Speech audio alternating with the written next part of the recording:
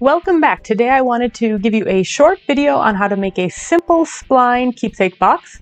If you watched my dovetail mitered uh, spline box video, I went into greater detail on each step of making the box. Um, so if you want more details, click on the link for that video. Otherwise, we're just gonna go ahead and get started here. So I'm just making some simple miters using my router table. You can of course do any way that you feel comfortable making miters. Take a little time here to line up the grains, get the prettiest look. I like nice thick tape for this. This tape is going to act as a simple clamp.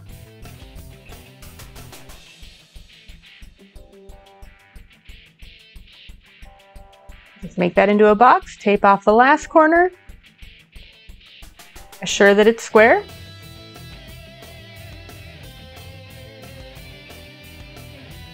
So this simple spline jig is very easy to make and just goes over the fence. There's a lot of YouTube videos out there on how to make one. I've made a lot of just straight splines and for this box I decided that I wanted to angle them. So my blade is set at 20 degrees. You want to get the height just right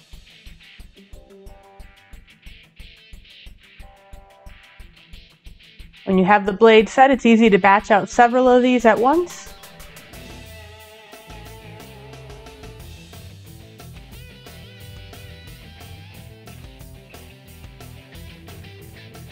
Just moved the um, fence over so that I got perfectly the same increment on each of the three different passes for each side. So it's gonna have six splines total. The splines really help to strengthen the miter joint and they add a nice decorative feature to it.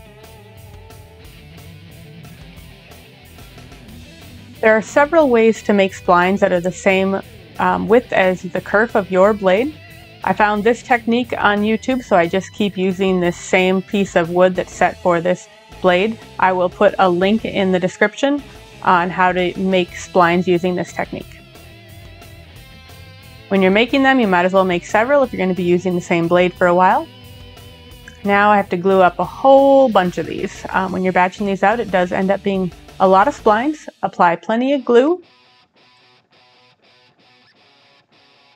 The spline should be just the right thickness, so it you know you have to push it in a little bit to get it in there and it stays all by itself. There's no need to apply any clamps or anything to these.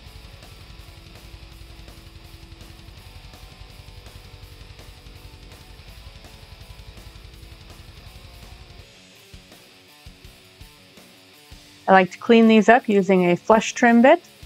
Makes quick work of this.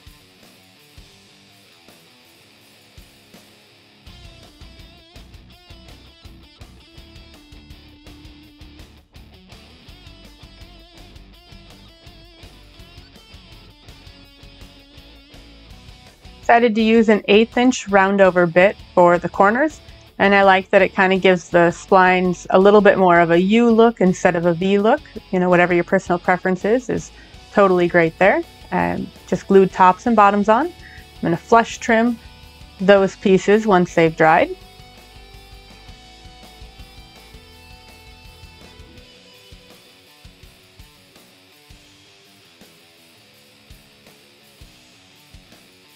Now for the stressful part, cutting this open. You always want to make sure you don't mess up this step. The riving knife on the saw helps to make this um, go a little smoother than if you don't have that. Just laser engrave some little, these are memory boxes, so laser engrave something special on the top of them, as well as on the inside. And again, in that other video, I give more details on this step. I just made a simple frame to go around that laser engraving and flock the box.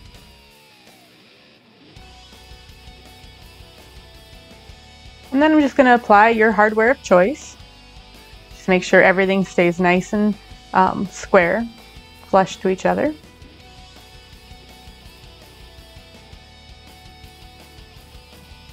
These little screws and I rarely get along very well, um, but uh, you know, it's really not a very difficult step.